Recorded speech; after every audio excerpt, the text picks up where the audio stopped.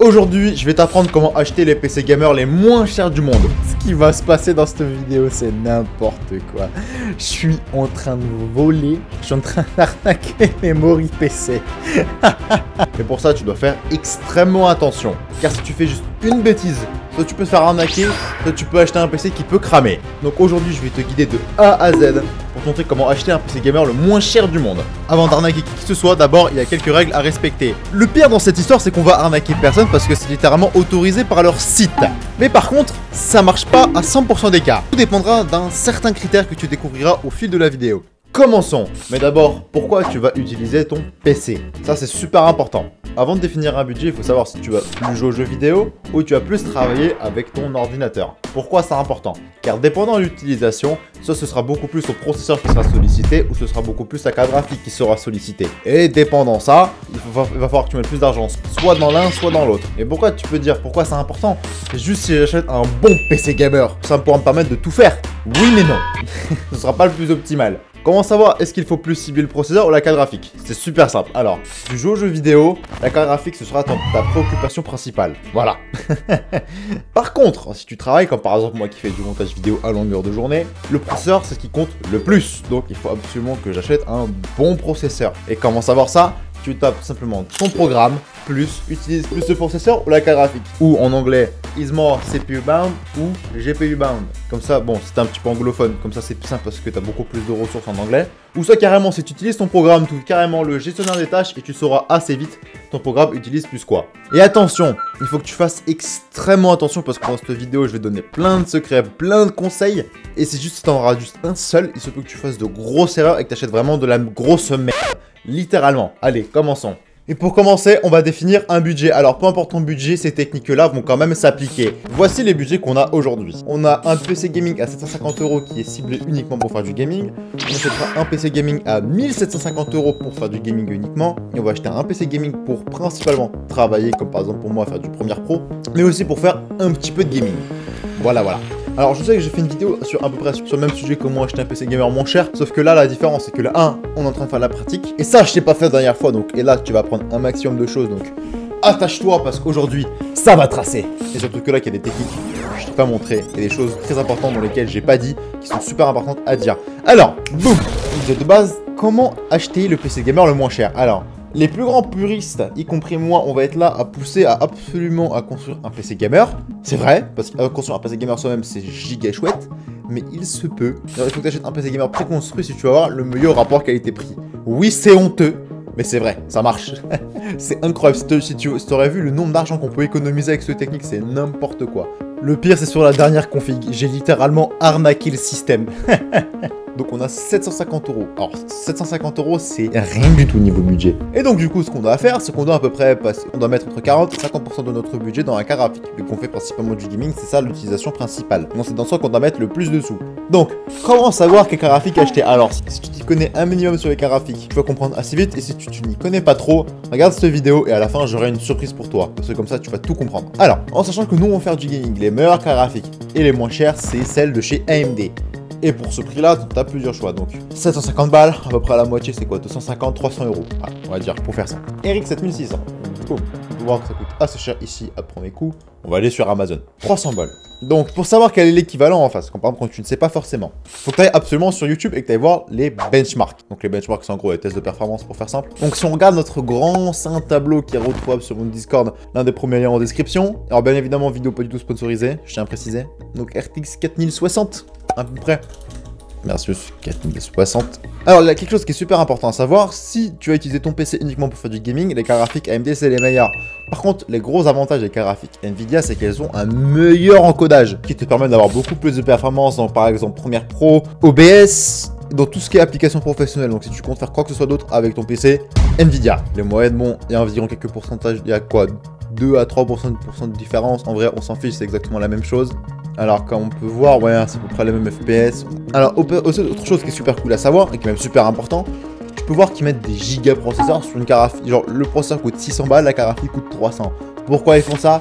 Ils font ça justement pour éviter tout problème de limitation de puissance qui est due à un processeur pas assez puissant. Donc, comme ça, ils font ça, comme ça, ils ont absolument plus que de la marge. Donc, on voit que c'est à peu près la même chose. On va voir les prix des 4060, il suffit qu'ils coûtent un petit peu moins cher, et on peut voir que c'est pas vrai. Ouais, bon, on peut voir qu'on est à 350 euros en sachant qu'on est vraiment à un budget qui est tout ricrac. Il faut faire attention, même 30 euros, faut chercher à les économiser. On va partir sur la mon cher parce qu'honnêtement, ça suffit.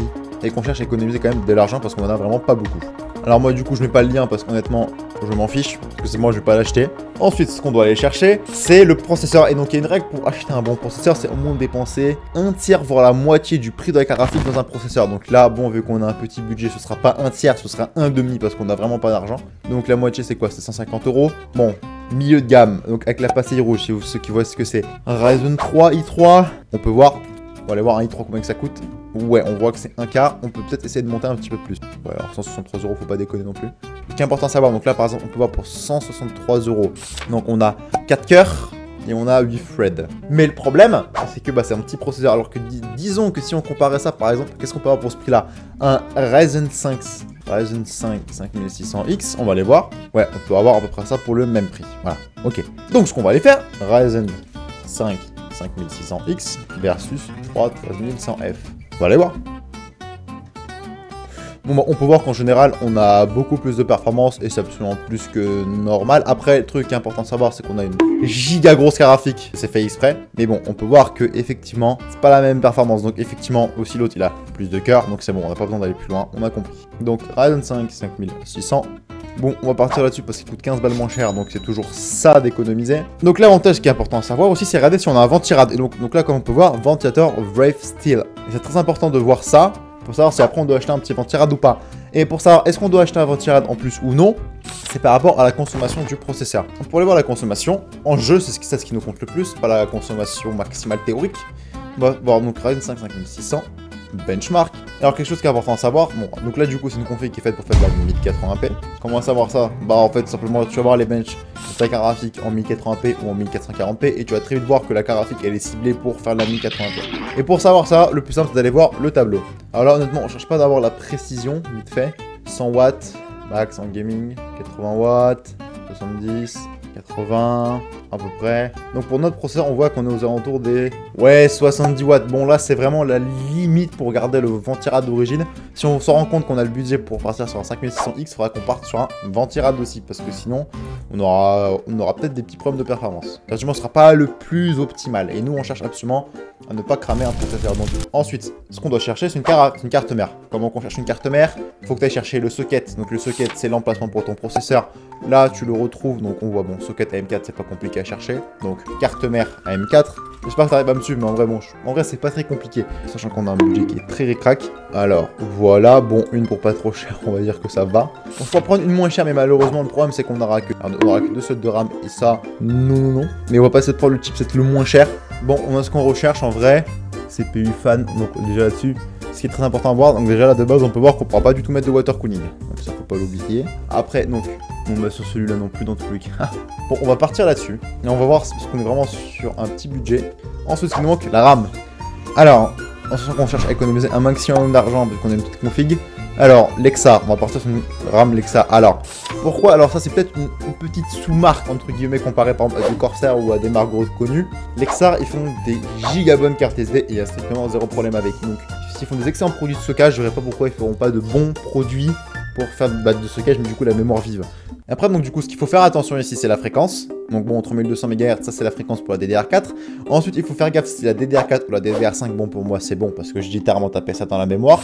Comment savoir que la carte mère elle est compatible pour la DDR4 ou la DDR5 Il faut que tu ailles voir. Par exemple, assez souvent, c'est écrit sur le producteur du site. Donc là, on veut aller voir le Ryzen 5 5600X. Est-ce qu'il est compatible DDR4 ou DDR5 ou voir les deux? Tu vas sur le site tout simplement. Et donc comme tu peux voir, connectivity, mémoire, DDR4. Et par exemple, bon, processeur, le dernier processeur AMD, c'est que la DDR5, c'est pas trop compliqué, mais ce qui est important à savoir, par exemple, c'est pour les processeurs Intel.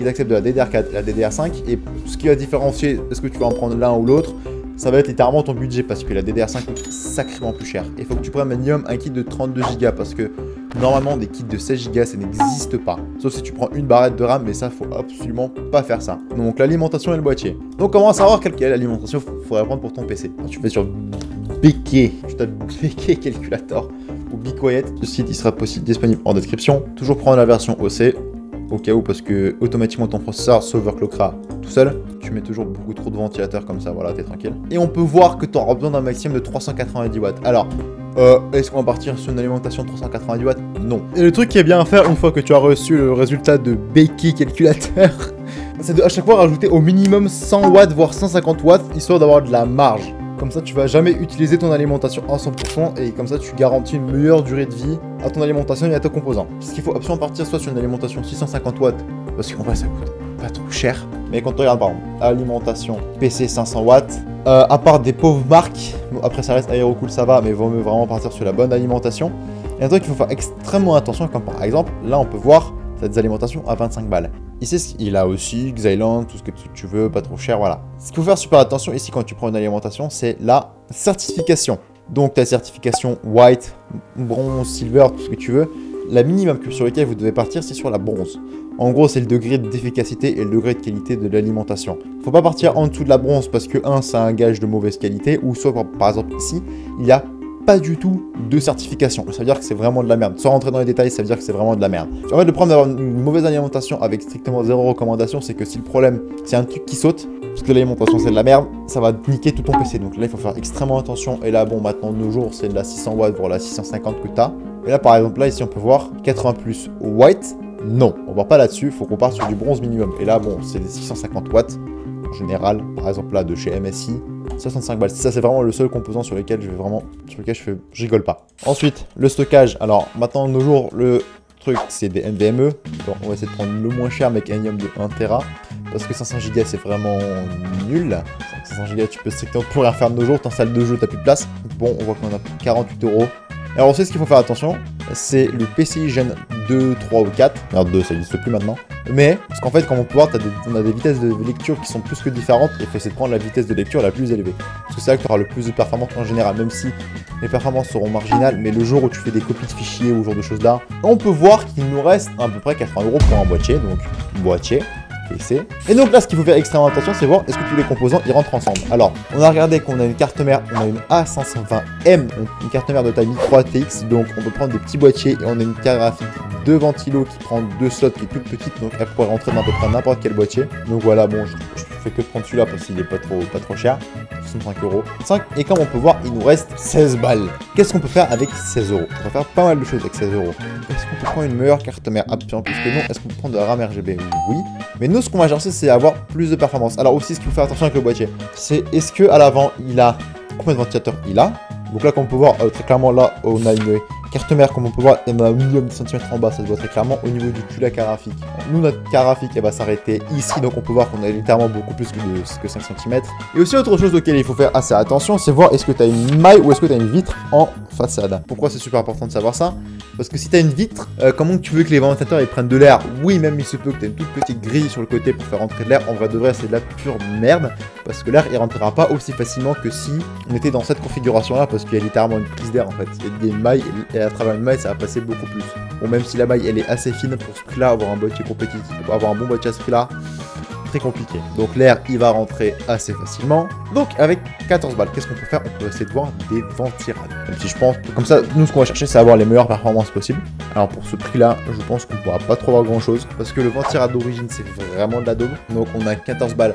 Bon, honnêtement, si on part sur un truc, genre, on a 14 balles, mais si on part, genre, si on met 6 euros de plus pour avoir un bon ventirade, en vrai, why not?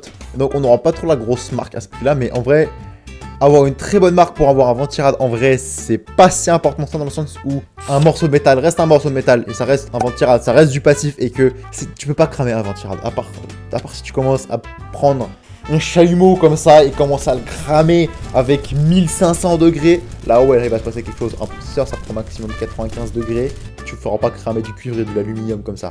Donc, c'est pas grave. Le seul petit problème que tu peux avoir quand tu prends un petit peu de la sous-marque en ventirade, c'est que l'efficacité du ventilateur. Après, bon, en vrai de vrai, ce sera toujours mieux que le truc d'origine et c'est par rapport au bruit. Donc, nous, ce qu'on va faire, on va prendre un Thermalright parce qu'ils sont ils sont pas mauvais en plus, ils sont pas très mauvais. Bon, il est RGB en plus, pour les gens qui veulent absolument du RGB.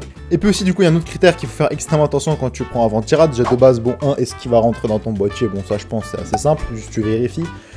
2, c'est est-ce que ton ventirad il est à la perpendiculaire ou est-ce qu'il est parallèle à ton processeur? Parce que du coup, un ventirad qui est, qui est parallèle, donc qui est à la à l'horizontale, comme je l'appelle une fois de temps en temps. Le problème, c'est qu'il va prendre l'air frais ici, il va envoyer tout l'air chaud ici. Donc l'avantage c'est que bon, il prend très peu de place. Mais le problème c'est qu'il va faire surchauffer tous les composants autour. Parce que du coup, tout, ça, il envoie de l'air chaud tout autour. Et ton processeur il va encore plus chauffer. Donc l'efficacité elle est pas très ouf. Alors que disons que tu prends un ventirad qui est la perpendiculaire ou qui est, ou qui est verticale par rapport au processeur, l'avantage c'est qu'il va envoyer l'air chaud ici et tu auras un sacrément meilleur degré d'efficacité et surtout tu as plus de place pour avoir une bonne dissipation thermique. Et tu peux mettre aussi un plus gros ventilateur.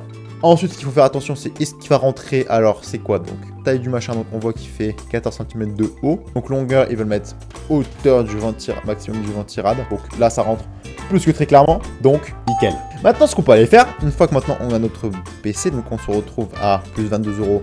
On est 6 euros au-dessus du budget. Est-ce qu'on achète Oui.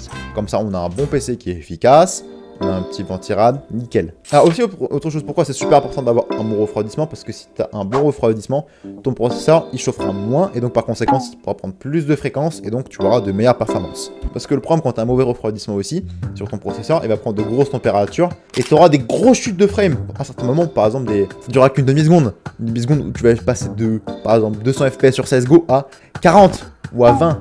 Et le problème, ce qui va se passer, c'est que si tu joues un jeu compétitif comme CSGO, une demi-seconde c'est super important. Et que si tu commences un petit peu à bugger comme ça une fois de temps en temps, c'est chiant, tu vas péter un câble. Donc c'est pour ça qu'aussi avoir un très bon refroidissement, c'est très important. Soit pour ta graphique ou pour ton processeur. Donc là, bon, on est plus que tranquille. Et là, donc ce qu'on peut aller faire, c'est maintenant les comparer sur d'autres sites. Donc les meilleurs sites, c'est Agando et Memory PC. Euh, alors, on va pas aller sur les sites français parce que je sais pertinemment que les sites français seront plus chers. Mais ils sont vraiment galères, les sites euh, allemands. Donc ici, c'est aussi un guide. Donc, reprenons. Ma caméra, elle a surchauffé. J'adore. Donc, tu dois absolument t'abonner et liker cette vidéo pour que je puisse m'acheter une nouvelle caméra parce que toutes les 30 minutes, devoir couper un enregistrement et attendre 10 minutes, c'est chiant. Donc, abonne-toi et ça, je m'achète une nouvelle caméra. Alors, il faut faire extrêmement attention quand tu achètes sur ce genre de site là, parce que quand tu es un professionnel, c'est pas grave. Boum boum boum, t'achètes, tu t'économises 1500 euros sur une config à 1000 euros. Bon, peut-être j'abuse un petit peu. Vraiment, tu peux économiser des gros sous, mais quand t'es quelqu'un d'assez nouveau, tu vas faire oh bordel de merde. Comme par exemple, prends All System PC. Alors, le site il est en anglais, c'est n'importe quoi. Attends, Gaming PC plutôt, désolé. Le problème c'est qu'aussi Agando par exemple, ils sont en train de se faire des doses parce que putain, il veut, pas charger le site. c'est n'importe quoi. Tu vois, Memory PC il a chargé en une demi-seconde. Là, il est en mode. il est en train de mourir.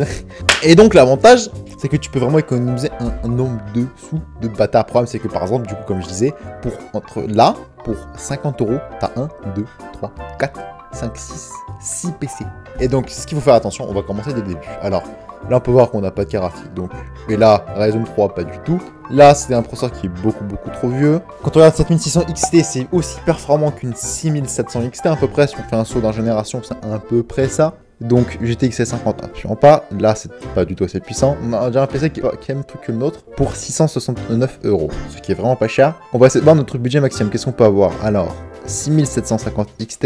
Ouais. Le problème, c'est qu'on a que 500 Go de NVMe. Après, c'est qu'on a vraiment pas de stockage, donc ça, on va éviter. Donc, on va repartir sur la même config que la nôtre, donc celle-ci. Ce qu'on peut faire sur ce genre de site-là, c'est qu'on peut assez, assez d'aller améliorer les PC. Oulala là Alerte Alerte Grosse alerte Les sites internet comme ça, surtout les sites allemands, je sais pas ce qu'ils font, ils font de la grosse, grosse merde. Par exemple, ils proposent une alimentation pour vraiment pas cher. Le problème, c'est que tu n'as même pas une certification 80 plus white. Ça veut dire qu'elle a un degré d'efficacité qui est inférieur à 80%. Ce qui est vraiment, vraiment la grosse merde. Et avec ça, tu peux que tu puisses cramer ton PC tout simplement. Donc nous, ce qu'on va faire, va partir sur une bonne alimentation. Donc là, une Be avec une certification 80 plus bronze, nickel. On peut même partir sur une 550 watts parce que le PC consomme vraiment rien. Donc on a 664 euros. Ensuite, ce qu'il faut faire extrêmement attention, comme on peut voir, le boîtier c'est de la merde. Parce qu'on a un borceau de plastique devant, donc il y a 0 R qui va rentrer dans le boîtier. Et donc là, hop, on part sur un Xylence Breeze RGB. Ensuite, pour revenir à la même config, donc on a RX 6550 XT. Et si on cherche à upgrade un petit peu, qu'est-ce qu'on peut avoir en graphique est-ce qu'on peut avoir mieux Et donc là, déjà de base, la RX 550, elle sera moins puissante. Donc là, celle-ci, on peut laisser tomber. Par contre, on peut partir sur notre config qui est... Où est-ce qu'elle est? Là. Un petit peu plus cher, mais c'est pas grave. C'est la même config que la nôtre, mais écoute, déjà de base moins cher. Le boîtier, c'est la même chose, on le change. Ensuite, ah, on a déjà la bonne alimentation, ça c'est cool. Correct. Et là, on a le AMD Vref couleur d'origine. On peut partir sur un petit ventirad. Alors, pour 20 balles, on s'est rendu compte qu'on peut acheter un ventirad par nous-mêmes. Parce que là, pour le prix, en vrai, pour un RGB, bah après bon c'est la bonne qualité mais on va dire qu'on part là-dessus. On va dire qu'il est correct. Ok c'est de la merde, casse-toi. Ok donc faut voir qu'on avoir 20 balles et qu'on achète nous-mêmes le ventirad. Et donc là comme on peut voir, on a un PC pour 7... Ouh, moins cher. On a, donc on a encore 20 balles de budget. Qu'est-ce qu'on peut faire avec 20 balles? Avec 20 balles, on peut prendre donc un ventirad. On en a déjà un. On va prendre celui-là, donc on peut monter jusqu'à 730 euros. Par contre, ce qu'on peut faire, on peut partir sur un processeur un petit peu meilleur. 42 balles. Euh... Oula, non Non Non, on va pas améliorer le processeur. Ok, on repasse sur l'autre. Alors, on passe en plus pour le même prix, on peut se rendre compte qu'on a un 5600G. Donc pourquoi c'est super cool d'en prendre un par exemple Parce que le jour où ta carte graphique elle meurt, pour le même prix et pour zéro coût en performance, tu peux avoir une partition graphique dans ton processeur. L'avantage c'est que au cas où si ta carte graphique elle crame, tu peux toujours utiliser ton PC. Donc là ce qu'on va devoir d'abord changer, on peut voir qu'on n'a que deux ports de RAM et ça c'est inacceptable. Partir sur 43 euros en plus et là en fait on se retrouve au même prix. Alors maintenant on est sur memory PC. RX 6700 XT. Attends, c'est combien ça? RX 6700 versus 7600. On va voir. C'est exactement la même graphique, sauf que la nôtre elle est plus récente. Donc quitte à ce qu'on regarde la graphique la plus récente, hein, très clairement. Ouais, là le problème, ouais, quand on regarde déjà là, le problème c'est que si on doit améliorer le stockage, on doit améliorer le processeur, on va très clairement être au-dessus de 750 balles. Donc, quel est mon choix final? Si t'as le temps d'attendre environ deux semaines le temps que ton PC vienne, je partirai sur cette config là juste pour le fait que t'as un 5600G, au cas où si ton truc il crame, c'est pas mal. La graphique elle crame, mais si tu voudrais absolument monter ton PC, et que tu vois. Je, je partirais, moi personnellement, là-dessus sur le montage. Et donc justement, c'est très important de tout comparer et faire attention à tout. Comme ça, tu peux éviter de te faire douiller. Parce que surtout là, le gros problème, c'est que, un, alors là pour l'instant ça va, mais certains ils mettent des processeurs, des caractéristiques qui ne vont pas du tout ensemble. Parce que tu vas te bouffer un gros bottleneck. Alors un bottleneck c'est quoi? C'est la limitation. En gros c'est quand ta carte elle est beaucoup trop puissante pour ton processeur et là ça va limiter les performances. Comme par exemple le, truc qui m'a basourdi le plus. Genre un i5 11400F avec une RTX 4070 Ti. Euh, niveau performance ça va être un petit peu. Et au passage, je vais préciser quelque chose. Il y a effectivement le bottleneck qui risque de limiter carrément la puissance de la carte graphique, mais il y a aussi un bottleneck qui est plus précisément le processeur qui limite les performances générales du PC. Parce que par exemple, il se peut que la 4070 Ti tourne à 100% avec le 11400F, mais le problème c'est que le processeur est tellement peu puissant que par exemple, un jeu il va tourner seulement à 80 FPS, alors que si on mettait un bon processeur comme un i5 13600KF, là on pourrait avoir 100 FPS. C'est un truc qu'il faut absolument prendre en considération, il ne faut pas prendre de processeur trop merdique. Maintenant, on passe sur une config à 1000 750 euros. Et t'as encore plein de choses à apprendre, donc reste bien jusqu'à la fin de la vidéo parce que je peux t'assurer tu vas apprendre encore un million de choses. Nous, on sait qu'on va faire du gaming, on va principalement cibler la graphique, donc ouais, 800 balles. Qu'est-ce qu'on avoir pour ce prix-là? Donc, est-ce qu'on avoir une RX 7900 XT pour ce prix-là? Oui, on peut! Alors, pourquoi ça meilleur des graphiques? Parce que quand on peut regarder une RTX 4070 Ti qui est équivalente, alors comment je le sais À force de regarder des benchmarks, donc toi par exemple, la meilleure des choses à faire, quand tu ne sais pas, 1, tu as toujours mon tableau qui est disponible sur mon Discord, donc si tu vas aller voir à peu près les équivalents. Donc c'est quoi une RTX 4070 Ti versus X7900 XT Ouais, en général, les FPS sont plus grands. On regarde les averages, c'est toujours plus puissant, même les low 1%. À chaque fois, c'est plus puissant. Donc, boum, on part là-dessus. Et en plus, quand on compare une RTX 4070 Ti, 4070 Ti, boum, boum, boum, boum. Tu vois, ça coûte 1000 balles, une RTX 4070 Ti, en moyenne. Donc, on gagne 150 euros pour avoir plus de performance et en plus elle consomme moins. En plus, le gros avantage, qu'il faut faire extrêmement attention quand tu prends des, des graphiques, c'est la VRAM. En gros, la VRAM, c'est quoi? C'est la mémoire vive intégrée à ta graphique et plus tu en as, plus ta graphique durera longtemps dans le temps, dans le sens où elle pourra encaisser beaucoup plus. Pourquoi? Alors le problème c'est que maintenant les graphiques Nvidia de nos jours, elles ont une quantité de VRAM qui est insuffisante par exemple, ma 3070, elle a quoi? 3 ans? Je lance un jeu comme Rust, euh, les 8 Go de VRAM, elle les explose. Hein. Ça déborde sur la RAM, et le problème c'est que, 1, tu perds des performances, parce que voici la fréquence de la RAM, et voici la fréquence de la VRAM. Et comme on peut voir, c'est pas du tout la même vitesse, donc le transfert il est plus lent, donc tu auras, des, moins de performance, et en plus, quand tu as des 6 configurations avec peu de gigas de RAM, donc par exemple 16, tu vas vite déborder. Comme tu peux voir, moi juste en jouant à un jeu vidéo, je me retrouve à 20, voire 22 gigas de, RAM d'utilisation, donc il faut prendre des cartes graphiques avec des grosses VRAM, et donc la RTX 4070 Ti elle a que 12 Go de VRAM qui est ric-crac ric-crac de nos jours, alors que la RX 7900 XT elle est faite pour 20 Go de VRAM, donc c'est beaucoup plus que tranquille.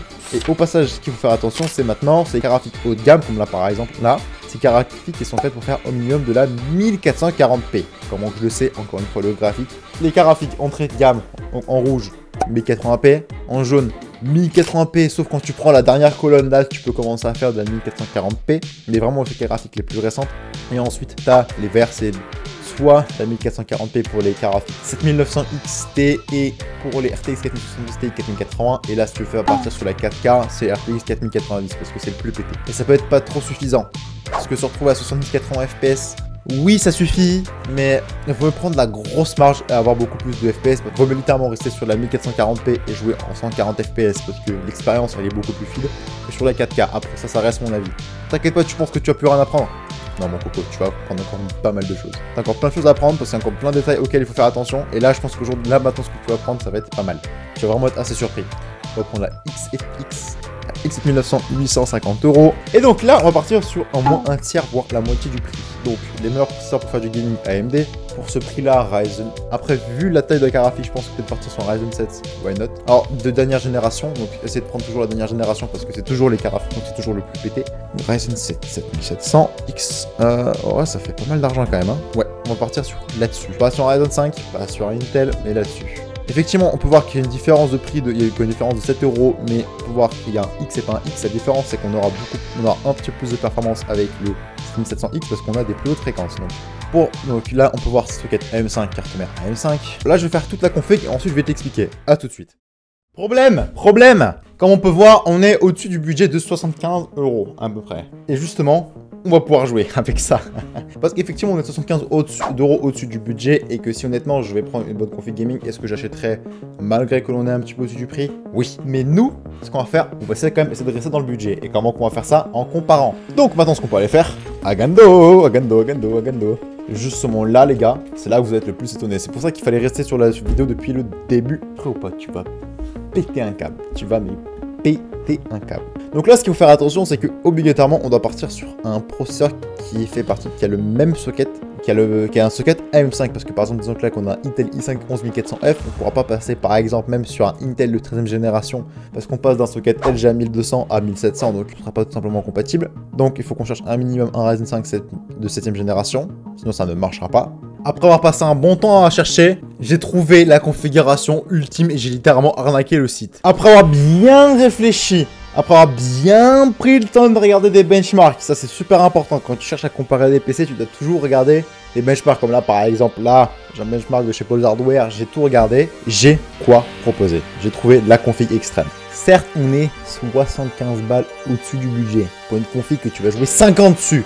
T'as un Ryzen 9 7900X. Ryzen 9 RX 7900 XT pour 1814 balles, 32 Go de RAM, tout ce que tu veux. Si tu veux absolument descendre à 1750 euros, tu peux prendre un Ryzen 9 7900 tout court, ou soit prendre 32 Go de RAM mais en 5200 MHz. Alors que va chercher à comprendre Ryzen 9, donc tu as une autre config. Donc un Ryzen 9, 16 Go de RAM, 1886 balles. Pour une config pire, tu paies 50 balles en plus pour un config qui est pire. Hein. En fait, comment que ça marche? Comment que j'ai réussi à avoir un prix aussi bas? Tout est question de comparaison de partir sur une bonne base. Parce que du coup, très clairement, c'est le PC sur lequel je partirais pour faire du gaming. Pour 1750 balles, certes, un petit peu au-dessus. Oui, on peut partir sur 1700 balles, mais honnêtement, pour une config qui va faire vraiment longtemps, on peut même partir peut-être sur un petit peu de en plus. S'il le faudrait, oui. C'était vraiment à 1750 balles tout pile, je partirais sur un i5 13600 KF. Mais là, si tu peux vraiment, Ryzen 9, sérieusement, Ryzen 9. Comment que j'ai réussi à atteindre un truc aussi délirant. Parce qu'en fait, tu pars sur une bonne base. Alors, faut comparer entre memory PC, à Guindo, tout à gauche à droite. Tout est question de la base de l'ordinateur. Par exemple, qu'est-ce que moi j'ai pris comme base déjà euh, Tout est question de se rapprocher des composants les plus proches que tu as pour le moins cher possible. Par exemple, parce que je sais même pas comment ils se font l'argent, je suppose qu'ils sont en train de se faire du parce que moi si je devais faire cette config là, du coup si je devais faire ce config à 1815 euros, en fait ce config me reviendrait à 2000 balles.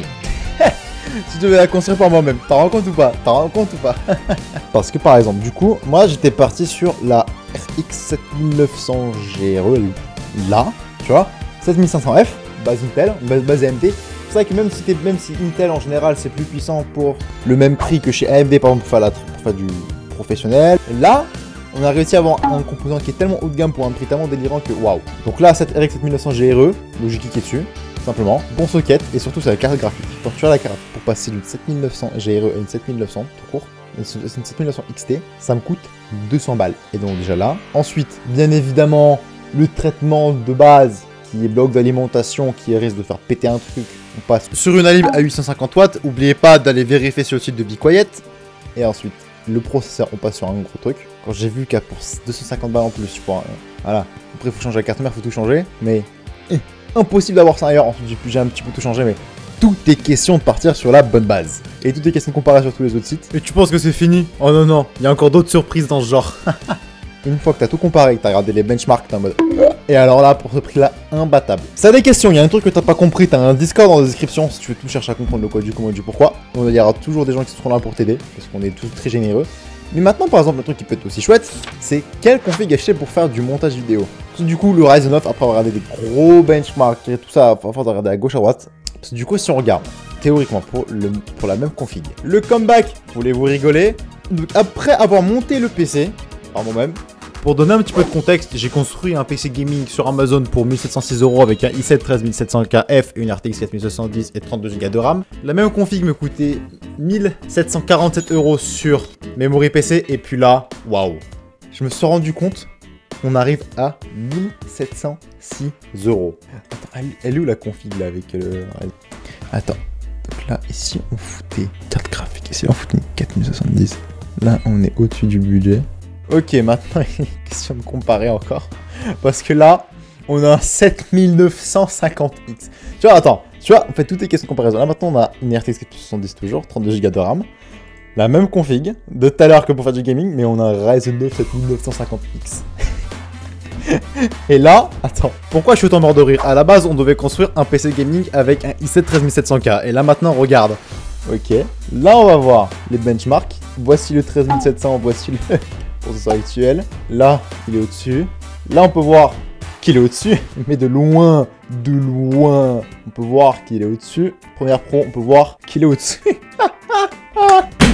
oh les gars Oh les gars je... suis en train de les arnaquer, frère Regarde Tu vois, tout est... Attends, attends. Je suis en train d'arnaquer Memory PC. Mais on a un... J'ai que un disque de stockage, mais la différence c'est qu'on a un processeur qui coûte 300 balles en plus pour le même prix. Attends, mais quand... Mais on est en train de les voler Attends, ça, ça coûte 650 balles. On est en train de les mettre en faillite là. Donc là, le 7950X, il coûte combien? 1905. Une 7950X. Une 3 ventilos, donc environ, ouais, plus 700 balles. Le water cooling, il coûte 100 balles. On a 150 balles de RAM. On a un boîtier environ 100 balles, si je ne me trompe pas, c'est un peu comme ça. On a une carte mère à 200 balles. Attends, faut que je vous montre le calcul. on a un FME à 50 balles. On a une Alim à environ 100 balles. Alors oui, on n'a pas Windows. Ça coûte 80 centimes sur Rakuten ou sur ces discounts, tu peux aller acheter ça. Euh, au, lieu de payer tes clés Windows à 20 balles, c'est les autres youtubeurs faut que tu ailles payer les clés Windows à 80 euh, centimes sur Rakuten. Et vu que je t'ai appris une grosse technique comme ça pour économiser 20 balles, tu dois t'abonner et liker cette vidéo. Si on devait faire ce config par nous-mêmes, donc 20 centimes, allez, les 20 centimes, euh, on te les offre. Ce config, si moi je veux la faire, me coûter 2038 balles. 267 euros de différence. Donc bon, on a choisi une config définitivement. Bon, c'est sur quoi on va partir. Donc tout est question de comparer. Donc, je répète comme ça, c'est sûr. Maintenant, je t'ai appris énormément de choses, mais tu sais ce que je t'ai pas appris C'est qu'il se peut que tu sois un petit peu néophyte et que tu comprennes pas la différence entre i5, Ryzen 9, toutes ces choses-là, l'RTX 4070 et tout ça. J'ai créé la bible de l'hardware et tu vas apprendre un million de choses. Tu vas apprendre tout l'univers de l'hardware. Du moins ce qui est nécessaire pour choisir un ordinateur comme ça et tout comprendre. Et cette bible, elle est dans cette vidéo.